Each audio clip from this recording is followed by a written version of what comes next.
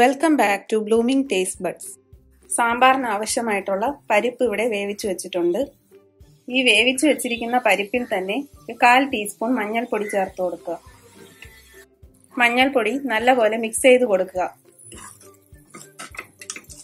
മഞ്ഞൾപ്പൊടിയുടെ പച്ചമണം മാറുന്നത് വരെ വെയിറ്റ് ചെയ്യുക. സാമ്പാറിന് ഞാനിവിടെ എടുത്തിരിക്കുന്ന വെജിറ്റബിൾസ് കത്തിരിക്ക മുരിങ്ങയ്ക്ക ക്യാരറ്റ് ഉരുളക്കിഴങ്ങ്. മഞ്ഞൾപ്പൊടിയുടെ പച്ചമണം മാറിയിട്ടുണ്ട്. വെജിറ്റബിൾസ് ഇട്ട് കൊടുക്കാം.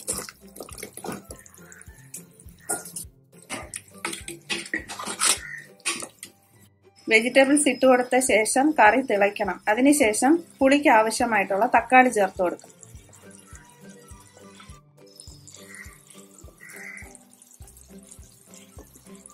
ഞാനിവിടെ മൂന്ന് ചെറിയ തക്കാളിയാണ് എടുത്തിരിക്കുന്നത്. ഇതോടൊപ്പം തന്നെ കറിക്ക് ആവശ്യമായിട്ടുള്ള ഉപ്പ് ചേർത്ത് കൊടുക്കാം. ഇനി നല്ലപോലെ ഒന്ന് മിക്സ് ചെയ്തെടുക്കുക.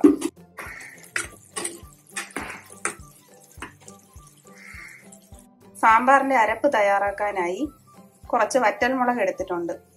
മിക്സി ജാറിലേക്ക് തന്നെ ഒരു ടീസ്പൂൺ ജീരകം ഇട്ട് കൊടുക്കുക. അര ടീസ്പൂൺ മല്ലിപ്പൊടി ചേർത്ത് കൊടുക്കുക. കറിക്ക് ആവശ്യമായിട്ടുള്ള തേങ്ങയും ചേർത്ത് കൊടുക്കുക. ഇതെല്ലാം ചേർത്ത് വെള്ളം ഒഴിച്ച് പേസ്റ്റ് രൂപത്തിൽ അരച്ചെടുക്കുക. ഈ ഒരു കൺസിസ്റ്റൻസിയിൽ വേണം അരച്ചെടുക്കാനായിട്ട്. വെജിറ്റബിൾസ് പകുതി വേവാകുമ്പോഴേക്കും നമ്മൾ അരച്ചു വെച്ചിരിക്കുന്ന അരപ്പ് കറിയിലേക്ക് ചേർത്ത് കൊടുക്കാം. ഇനി കറിക്ക് ആവശ്യമായിട്ടുള്ള വെള്ളവും ചേർത്ത് കൊടുക്കാം. ഇനി മസാലയുടെ പച്ചമണം മാറുന്നത് വരെ തിളപ്പിക്കുക.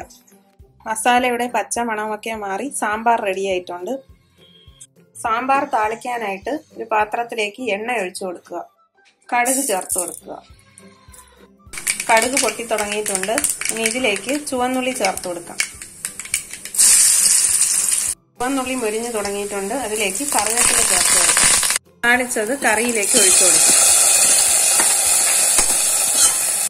തേങ്ങ അരച്ചു വെച്ച സാമ്പാർ നിങ്ങൾ എല്ലാവരും വീട്ടിൽ ട്രൈ ചെയ്ത് നോക്കുക. നിങ്ങളുടെ അഭിപ്രായങ്ങൾ കമന്റ് ബോക്സിൽ ഷെയർ ചെയ്യുക. മറക്കാതെ ഈ ചാനൽ സബ്സ്ക്രൈബ് ചെയ്യുക.